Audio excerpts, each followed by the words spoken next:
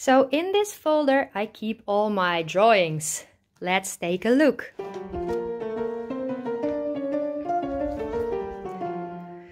So this is actually a realism study I did with colored pencils and it's actually just wet pebbles but I liked it, it was very colorful.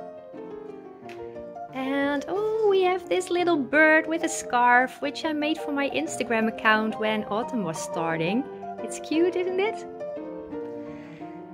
And this dragon I actually made for my second YouTube video about how to draw dragon scales and it's actually sitting in my old handbag which is right over there.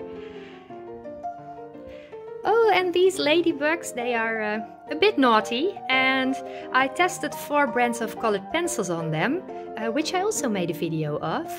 And I think the time is already up, so I'm going to make a, another video later on